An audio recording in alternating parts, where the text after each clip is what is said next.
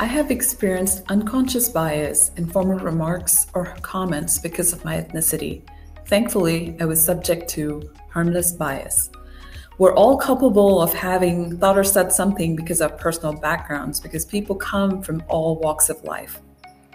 I think what we can learn from this is be more aware, listen, and be observant in our daily interactions with people around us, knowing that it exists, and also keep an open mind, uh, treating people as individuals and not as stereotypes.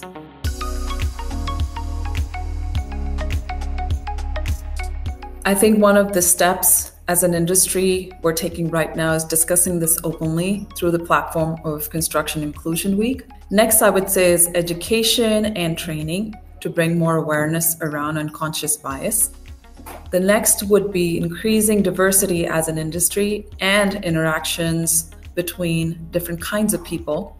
And the last thing I'd say is communicating courageously with employees to facilitate an understanding around unconscious bias.